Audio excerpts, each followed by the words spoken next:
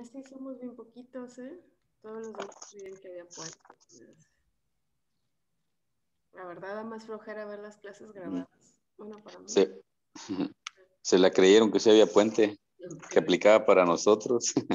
Dijeron, estamos en la prepa. Sí. Y aún así, no todos, porque, bueno, mi hijo sí tuvo clases. ¿Tus hijos? Bueno, no sé si tienen hijos, pero tuvo clases. ok, entonces, recuerdan que les comenté que íbamos a ver em, las teorías y contratos. Espero nos alcance bien poquito tiempo que tenemos en esta clase, pero vamos a ir rápido. Sí, maestra, en Derecho Romano tenemos ahí preguntas para examen, el único que nos ha dado glosario, ¿no? Y en acto jurídico y personas sí, sí tenemos este glosario. Eh, ahí sí estamos formando el glosario. y en derecho romano no tenemos, ¿verdad? No. Eh, Es puras eh, preguntas para examen que nos ha puesto ahí. Voy a pensar muy bien cuál va a ser su trabajo final. Ayer estaba viendo las clases grabadas para los exámenes y no puede ser la última plática que nos aventamos el fin pasado, que el divorcio, que el no sé qué. Estaba risa y risa con la pura clase. Yo dije. Y luego que el esquema y que el organizador. Hay cosas que no me acuerdo hasta que veo la clase de todo lo que andamos platicando. Sí, de, de hecho la pregunta para examen, eh, bueno, en, en Derecho Romano 2, ahí usted nos dio, la fue la primera pregunta, lo que es un organizador gráfico y un cuadro sinóptico. Sí, sí lo. Eh, eso usted eh, fue la primera que nos dio de También- Derecho Romano 2. También los elementos sociales que no sabían cuáles eran. Estaba risa. Sí, sí, entre todos participamos, ahí dimos una idea de lo que era el, cuadro sinóptico y el, organizador gráfico. Ok. Bueno, vamos a empezar con acto jurídico y vamos a anotar como título, vamos a ver unas teorías. Recuerdan que la clase pasada les dije que íbamos a comenzar con la teoría francesa. Entonces vamos a anotar fecha del día de hoy, tercer sábado. Teoría francesa. Vamos a ver lo que es la teoría francesa. Cuando surge, sistematización de hecho jurídico, pero iniciamos por teoría francesa. Yo les voy a explicar y luego ya brevemente anotamos un resumen nada más. Esto viene en su examen final. Por ahí les puse un ejercicio práctico en las dos materias. Ese ejercicio práctico viene hasta la clase del sábado pasado, del día 6 de marzo. Entonces, el examen que viene ya no voy a agregar tanto de eso porque creo que sí abarqué algo en ese ejercicio práctico de todo lo que vimos. Ya en el examen final, pues sí puede venir de todo un poco, ¿no? Y eh, les iba a comentar, ahora el ejercicio práctico no es precisamente un examen, examen, así es que no se preocupen. Digo, sí es evaluación, pero el, ex- el examen final ahora sí que es hasta el final, ¿ok? Entonces yo podría poner un ejercicio entre la semana de lo que vamos a ver hoy, y igualmente es un ejercicio práctico, ¿ok? Claro que tiene ponderación, sí, y hay que estudiar nada más antes de hacerlo. Vean la clase grabada o sus apuntes, ¿bien? Ok, bueno, vamos a empezar. Explico, si se me corta un poquito la voz, voy a apagar un poquito mi cámara y tomo agua porque traigo un poco lastimada la garganta. Bien, entonces, la teoría francesa también nos habla de los actos jurídicos y también proviene todo, son clases muy conectadas, derecho romano y acto jurídico y personas. Entonces, aquí nos habla que también la teoría francesa era una manifestación voluntad de voluntad que, genera, que generaba derechos independientemente de la intención del individuo, del autor. Y para que estos efectos se produzcan o el hecho se produzca, decía que tenía que haber una ley que lo vinculaba a efectos jurídicos. ¿Qué quiere decir? En pocas palabras, es un acto de voluntad. La teoría francesa habla de un acto de voluntad independiente de un individuo que lo hace con su propia voluntad, que eh, ejerce su derecho para esto hay una ley que lo respalda. Entonces, esa es la teoría francesa. Tú ejerces tu derecho, pero con, con una ley que te respalda de un efecto jurídico. O sea, un derecho que tiene una ley jurídica. A eso se refiere. Entonces, ahora sí les, les dicto teoría francesa. Punto y aparte. Manifestación de la voluntad. Ahí tengo chicos en mi sala de espera, no había visto.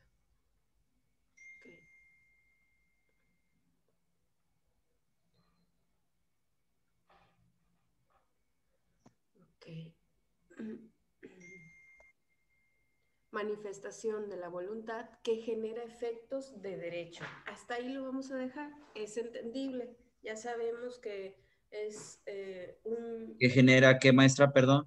Genera... Que genera derecho. Efectos de derecho, perdón.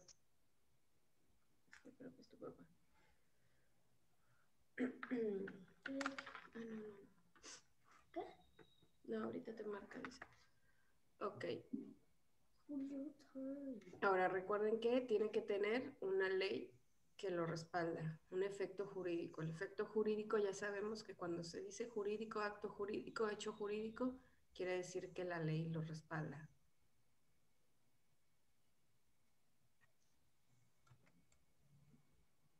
Hasta ahí, por favor. ¿Qué más muestra que la ley lo respalda? La ley lo respalda. O sea, tiene una ley jurídica. Quiere decir que en el Código Civil pues hay un requerimiento que se debe cumplir con tales requisitos y tiene un efecto jurídico. Ok. La teoría francesa, chicos, hasta ahí no escriban, surgió en 1804, cuando se em, creó el Código Civil de, los franceses, de ahí proviene esa teoría. Entonces tenían un sentido amplio, era un sentido estricto también. El sentido estricto era de que tenía conductas eh, o hechos del ser humano que podían tener consecuencias y también, o sea, que podían ser ilícitos o lícitos. ¿Qué es lícitos y ilícitos? ¿Quién sabe la diferencia? Pueden buscar en la web. ¿Qué será ilícitos a lícitos? Ilícitos, pues es lo que no se debe de hacer, ¿verdad? Lo que está mal hecho. Ilícito es lo que sí podemos hacer. Ok, perfecto. lo permitido y no permitido. Permitido y no permitido. ¿Quién más? ¿Quién más, chicos? Lo que es bien visto por el derecho, lo que está eh, lícito, ¿verdad? Eh, respaldado en, el derecho y, e ilícito, pues lo contrario, lo que no está permitido por la ley. Lícito, maestra, es lo que es aprobado y ilícito es lo que no está comprobado o no es. No, Los hechos los hechos humanos conscientes y voluntarios pueden ser lícitos o ilícitos. Lícitos son los que conforman a las percepciones del ordenamiento jurídico y ilícitos son los que se ejecutan violando dichas prescripciones. Bien, perfecto. ¿Quieren que anotemos o lo tienen conscientemente?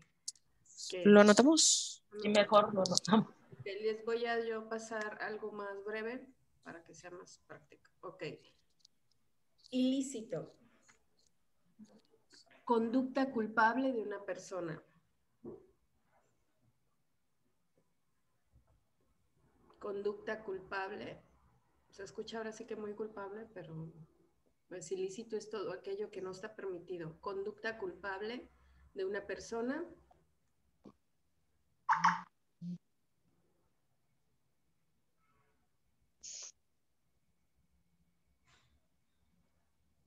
coma,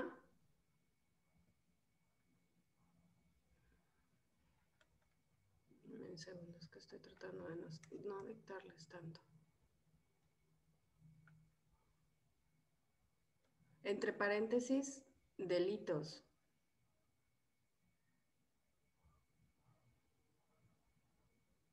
penado por la ley. Hasta ahí. Penado por la ley. Ya sabemos que es toda aquella conducta que tiene un acto jurídico, hecho jurídico más bien, hecho jurídico, ilícito.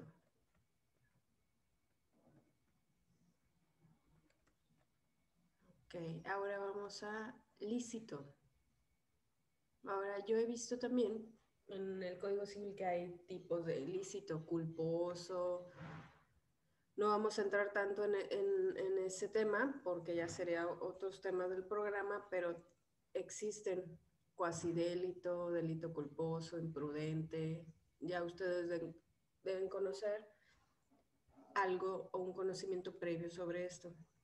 Cuando es un accidente que no fue pues conscientemente creado tú, que fuera causal para esa persona. Entonces nos vamos a lícito.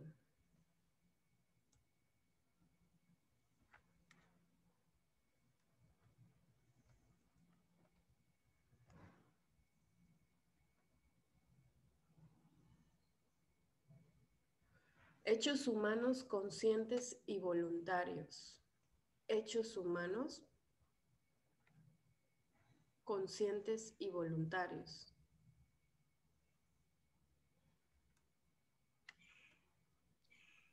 ¿Puede repetirlo, maestra? Hechos conscientes, perdón, hechos humanos conscientes y voluntarios. Hechos humanos conscientes y voluntarios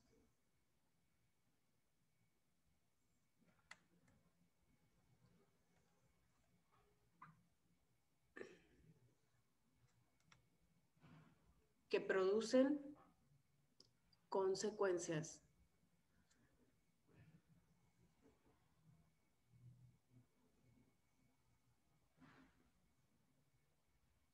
Sin dolo o culpa.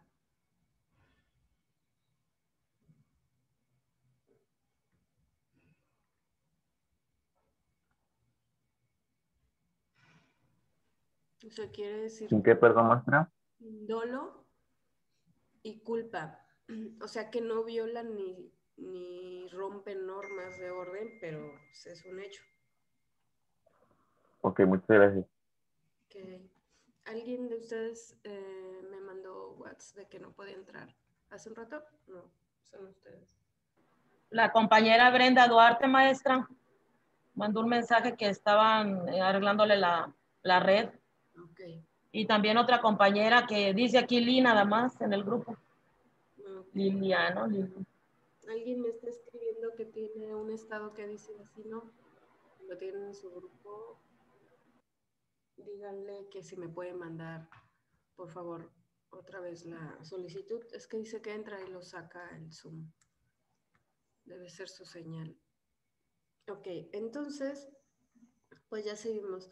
Ya sabemos que está permitido por la ley y no está permitido todo aquello que ocasiona consecuencias o hechos jurídicos, pues obviamente es ilícito, ¿ok? Bien, ya cuando sabemos nosotros o recordamos estos conceptos, las conductas o hechos del ser humano de la teoría francesa nos habla que aquí habla de conductas lícitas, hechos jurídicos en sentido estricto que son lícitos, o sea, que tienen leyes, los cuales tienen que regirse de esa manera y es una conducta lícita siempre y cuando tú sigas ese requerimiento, esa ley, ese orden, de acuerdo a los artículos del código, ¿no? Y los ilícitos, pues ya sabemos también qué conductas pueden ocasionar hechos jurídicos y que existen normas que se deben regir. Entonces, entre los lícitos Dice, hechos lícitos son los que están dentro de las normas jurídicas, como lo acabo de mencionar. Por ejemplo, los contratos, todo es un hecho lícito, o sea, está ejecutado por medio de un contrato de común acuerdo, pero que se debe regir, como dice, o como viene en su cláusula, etcétera, se debe de ir siguiendo. Y pues los ilícitos puede ser, ¿qué podría ser ilícito? Tenemos muchos ejemplos. ¿Qué puede ser ilícito? Por ejemplo, cuando van manejando y van en estado de ebriedad, es ilícito. El abuso de confianza, relacionado a lo que dijo, el abuso de confianza podría ser, maestra. Abuso de confianza. Sí, los delitos, eh, homicidio, maestra. Sí. homicidio.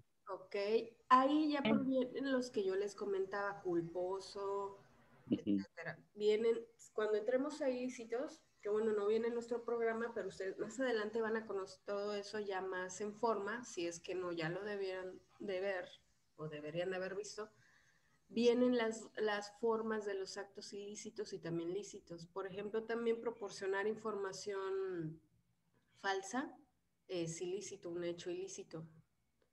Declarar en falsedad ante una autoridad es un hecho ilícito. Ajá. Eh, pues cualquier conducta negativa, cualquier conducta contraria al derecho. Todo eh, aquello que no cumpla una, una ley o una reforma del Código Civil Penal. Ahora, cuando, cuando, se transgrede la, las prescripciones ya las, eh, eh, establecidas en la norma, cuando transgredemos las normas jurídicas, ya entramos en un, una cuestión de, de un ilícito. Ilícito, de un hecho ilícito. Ahora, también el nacimiento y muerte de, de, un, de una persona, de un, de un, bueno, de una persona para no dirigirme también es un, puede ser un acto ilícito el no tener tú un, un acta de defunción. Ese también puede ser un acto ilícito. Y hay, hay serie de tipo de contratos, actas, registros que no cumplimos y también proceden a ser actos ilícitos. Dar mala información de tu domicilio, como decía nuestro compañero, entrar en, en falsedad de información, todo eso es ilícito. ¿Ok? Bien, entonces dentro de esta doctrina o teoría francesa, pues se inspira un concepto que se llama sistematización. Sistematización quiere decir que va por pasos. Cuando tú escuchas, no es que lleva un procedimiento sistematizado, ah, quiere decir que va en pasos. Lleva un proceso, un procedimiento, un requerimiento que no puede ignorarse, ¿no? Va por pasos, uno, dos, tres, cuatro, no se puede ignorar, ¿no? siempre lleva un paso que no se debe omitir, más bien dicho, no se, no se omiten, es un procedimiento. Entonces nos dice que la doctrina francesa la inspiró la sistematización del acto jurídico en el derecho mexicano. Quiere decir que lleva un procedimiento. Hay normas que deben cumplirse y no se pueden omitir. Y nos habla que esto fue el Código Civil en 1870 por, por último en el Código Civil Federal en 1928. Todo esto fue reformado en ese tiempo, en 1870 a 1928. Ahorita yo les estoy explicando lo que yo eh, vaya a poner en su examen, no se preocupen, yo se los voy a ir dictando.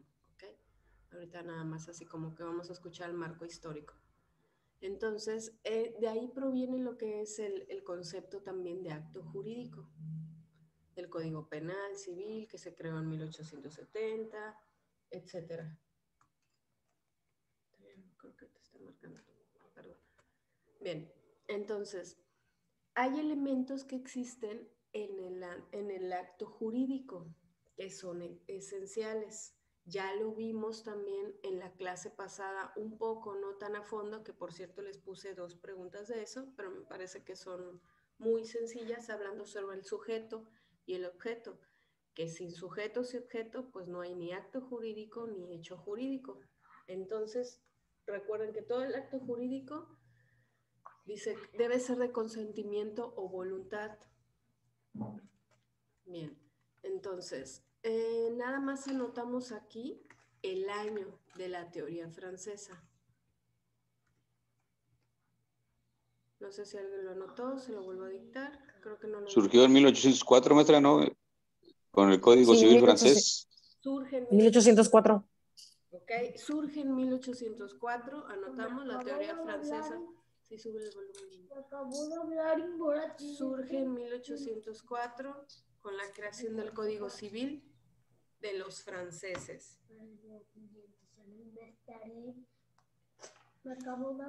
Ok. Ahí mismo, entre paréntesis, pueden anotar sentido amplio.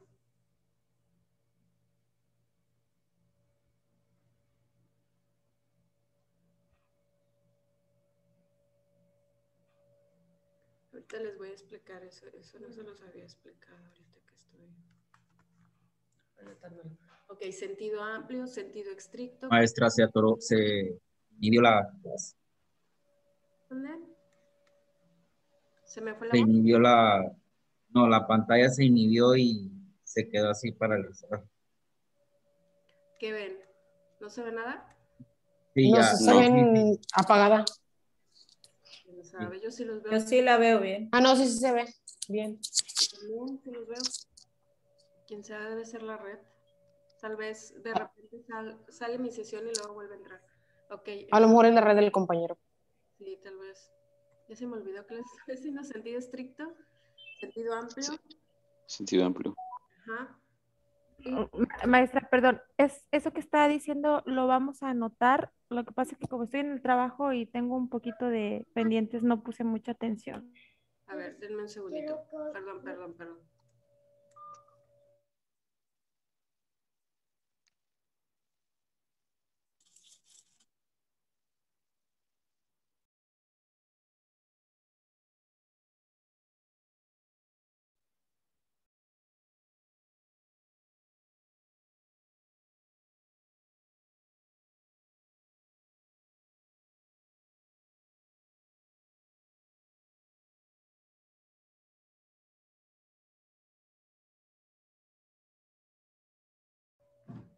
Ya chicos, ok, eh, sí hay que anotarlo porque esto sí viene en su examen.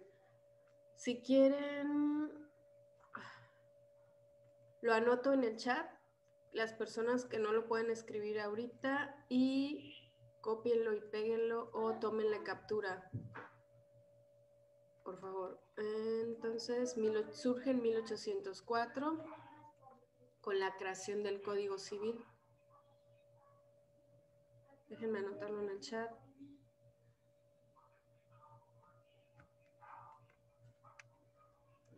Maestra, esa es pregunta de examen, disculpe. Sí. Entonces, el examen surge con la creación del código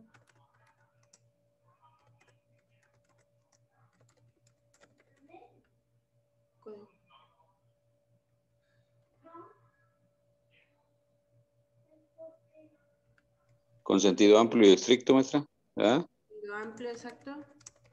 Y estricto. Muy bien, gracias por... Ya me lo dictaron, con sentido amplio y estricto. Ahorita les voy a explicar eso de estricto que tiene dos. Dos este, clasificaciones. Ok, ahí está, con sentido amplio y estricto ya saben que proviene también de eventos de la naturaleza como la muerte o el nacimiento de una persona, debe tener también un acta, lo cual si no procede a acto ilícito.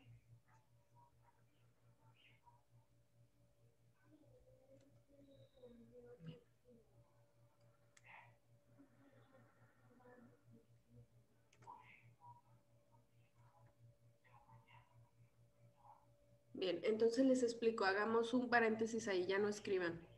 Ahorita les dicto esto también. Dentro del sentido amplio y estricto hay dos clasificaciones que se me estaba pasando a explicarles. Y se llama unilateral y bilateral. ¿A qué se refiere con unilateral? Ese, eh, ese, bueno, esa característica interviene dice, interviene para su formación una sola voluntad o varias, pero concurren a un idéntico fin. O sea, que puede ser una manifestación con voluntad, pero no de una sola persona, sino de varios, varias personas o varios hechos concurrentes. Eso es unilateral.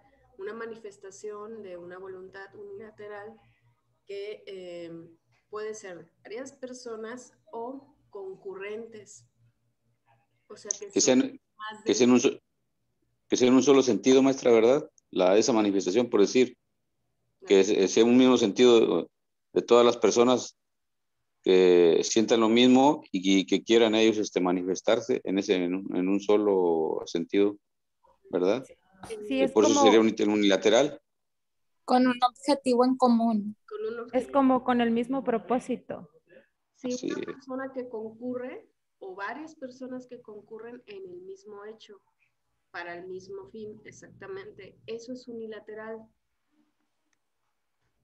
O cuando tú también procedes a un acto que tiene el mismo fin, ya son varios, eh, varios hechos concurrentes, pero con el mismo objetivo.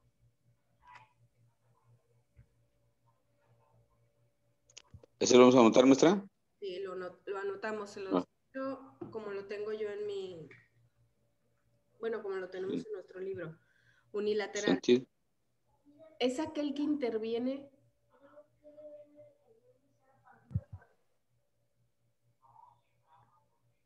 es aquel que interviene para su formación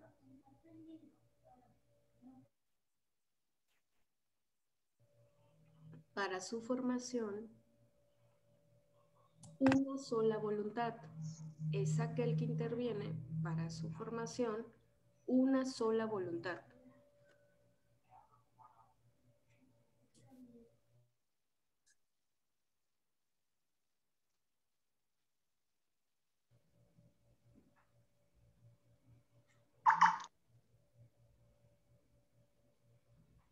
o varias, ahí seguido, o varias, pero concurrentes. a un idéntico fin, o varias, pero concurrentes a un idéntico fin.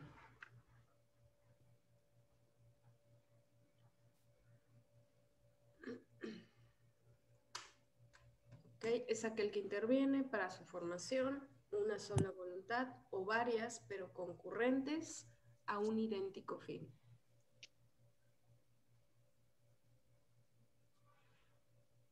Y el bilateral, pues es lo opuesto, aquel que para su formación requiere dos o más voluntades para diferentes o diversos fines entre sí.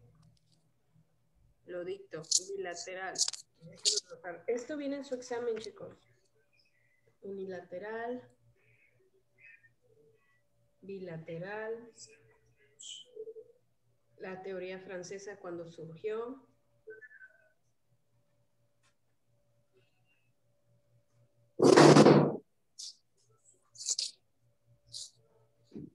Ok, bilateral. Es aquel que para su formación requiere dos o más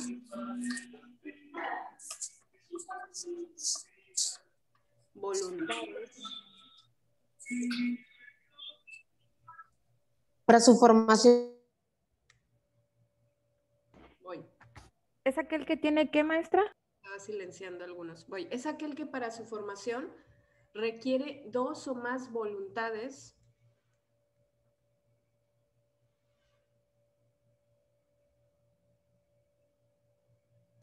Dos o más voluntades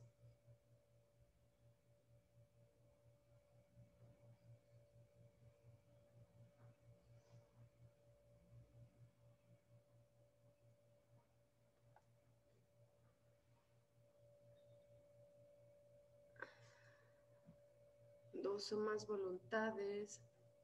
Un segundo, es que estoy resumiendo que luego viene un poco revuelto. Voluntades, dice aquí, que buscan efectos jurídicos diversos entre sí, pero se van a confundir ahí. Nada más pongan dos o más voluntades con diversos fines entre sí, con diversos fines entre sí.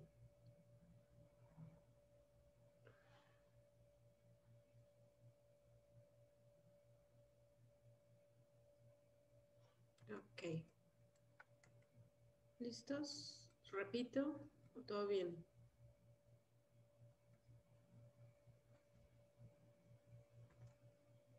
Ok, seguimos chicos.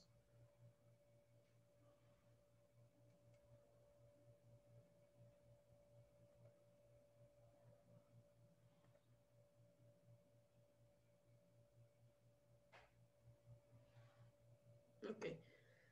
Después de esta teoría viene otra que se llama, pueden poner punto y aparte, tesis de Julián, así se llama. Ahorita lo voy a explicar. Es más que nada que viene creado por artículos del Código Civil, pero se llama Tesis de Julián. Se los voy a anotar en el chat. Por el apellido es un poco confuso. Tesis de Julián Bonecase. Entonces se los voy a anotar. ¿Lo anotamos en el cuaderno, maestra, eso? Sí, como subtítulo, porque ahorita que les expliqué ya anotamos algunas referencias sobre esto. tesis de, tesis de. Julián.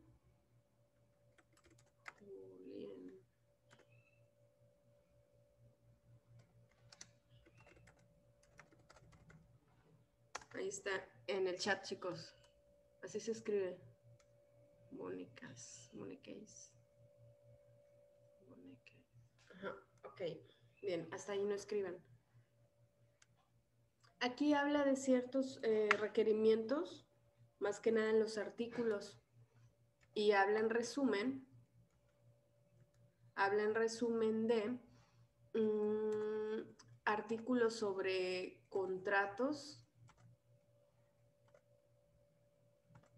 Bueno, Artículos que vienen en el Código Civil sobre contratos, cómo deben de ir conformados. Entonces, aquí este artículo aparece en 1794 y 1795. Entonces, entre paréntesis, debajo del subtítulo, pónganle artículo en 1794, guion, artículo 1795. Entre paréntesis, artículo 1794. ¿Lo puede repetir? Es que yo me revolví. Abajo sí, maestra, lo que pasa es que también dando la aplicación, datos. Ok, abajo del subtítulo ponen artículo 1794, guion, artículo 1795. Lo único que van a notar es cuando aparece 1794-1795. Así como lo tengo en el chat. Debajo del subtítulo, nada más. Como una referencia del marco histórico sobre esta tesis. Y aquí nos dice como número punto, como número uno, dice, para la existencia de contratos, cualquier tipo de contrato que ya conocimos en la clase pasada, ¿cuáles pueden ser? Debe haber como número uno un consentimiento de ambas partes. Como número dos, pues un objeto que puede ser materia para el contrato, o sea, un, un, un inmueble, un matrimonio, como decíamos, un objeto, vamos, el objeto que puede ser utilizado para ese contrato. Sin objeto y sujeto, que son los que van a firmar, los sujetos, no hay ningún tipo de contrato. Estos dos requerimientos vienen en este artículo que se creó también en 1794. Uno, consentimiento. Eso sí lo anotan, por favor. Punto y aparte. Número uno, para que exista un contrato, para que exista un contrato, se requiere, para que exista un contrato, se requiere, número uno, consentimiento. Número dos, objeto. El objeto es lo que puede ser la materia del contrato. Si quieren escribir nada más objeto está bien o si quieren escribir completo objeto que puede ser materia del contrato.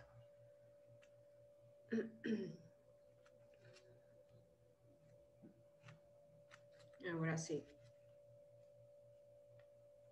No escriban, explico. Y en el artículo que se creó, y que también es en 1795 de esta teoría, de esta tesis de Julián, dice que el contrato también puede ser invalidado cuando, número uno, por incapacidad legal de las partes, alguna de las personas presenta condiciones diferentes, ¿ok? Número dos, por vicios del consentimiento, ¿ok? Y como número tres, em, porque el objeto o el motivo sea ilícito del contrato, ese objeto es ilícito, o sea, no, no se puede realizar un contrato con un objeto ilícito. Y como número Cuatro, el consentimiento no se haya manifestado en la forma que establece la ley, o sea que le falta requerimientos, no están cumpliendo con ese consentimiento. Hay alguna regla que no la están respetando y por lo tanto no hay consentimiento de la ley. Eso se los dicto en breve para que no escriban tanto. Entonces, punto y aparte. El contrato. Maestra, eh, del, de lo que anotamos ahorita, ¿cuál era el punto uno antes del objeto? Consentimiento. Gracias. Ok. Entonces nos vamos a artículo 1795, número uno. El contrato puede ser invalidado por incapacidad legal de las partes. Incapacidad legal de las partes. No sé si se han dado cuenta. me quedé en el contrato. Ah, ¿El contrato puede ser invalidado? Número uno, por incapacidad legal de las partes. ¿Se han dado cuenta que cuando firmamos algo, dice ahí, el sujeto cuenta con la capacidad para firmar legalmente este acuerdo o contrato, a eso se refiere, que los dos tienen la capacidad mental, vamos, de lo que están haciendo, que son conscientes. Entonces, por eso sería inválido si existe una incapacidad legal de alguna de las partes. Número dos, vicios del consentimiento.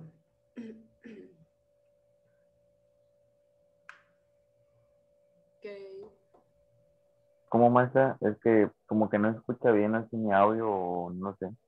Vicios del consentimiento. Vicios del consentimiento.